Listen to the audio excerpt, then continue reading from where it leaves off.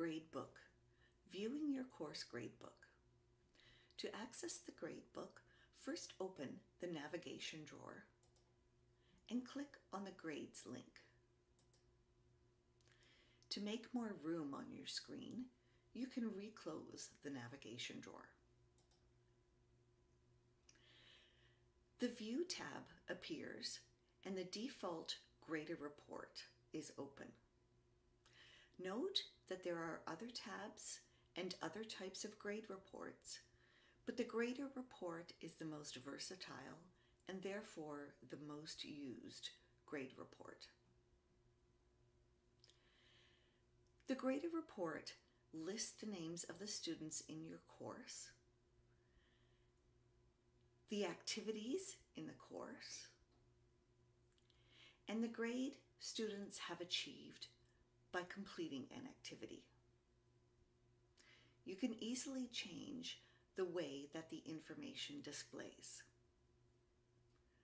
To find a specific student, you can choose the first letter of the first name and the first letter of the surname.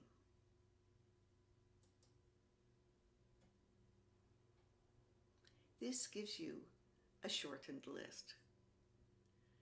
To list all of the students once again, choose All for both the first name and the surname.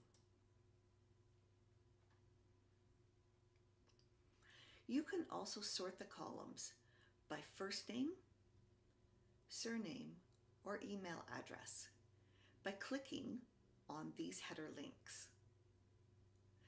You can see that the list is now sorted by first name.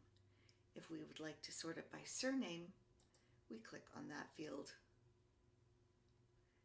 and the list has been changed.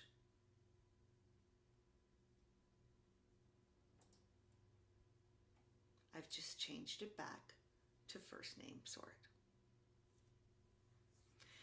To show overall and total course grades view, click on the Change to Aggregates Only item.